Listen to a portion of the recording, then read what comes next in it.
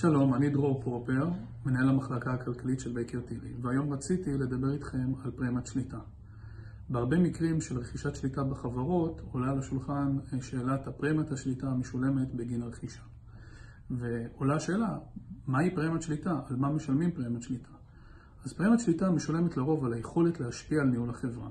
כלומר, במקרים בהם החברה מתנהלת בצורה לא טובה ולא יעילה, בעל השליטה ביכולתו להשפיע על הניהול יכול להביא הנהלה חדשה שתנהל את החברה בצורה טוב יותר ויעילה יותר, ולכן מכאן כדאי לו לשלם יותר על החברה מאשר המחיר השוק שלה לדוגמה. מכאן אנחנו למדים שבמקרים הפוכים, בהם למשל החברה כבר מנוהלת בצורה טובה, או במקרים בהם בעל השליטה לא מביא ערך מוסף של ניהול טוב יותר לחברה, אין למעשה צורך לשלם פרמיית שליטה, וכל תשלום שלה בעצם הוא תשלום מיותר ולא הכרחי.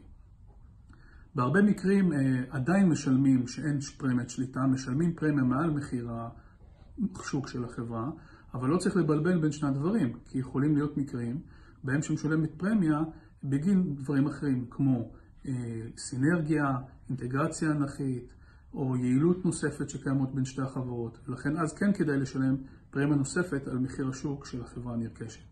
אך על כך נדבר בהזדמנות אחרת.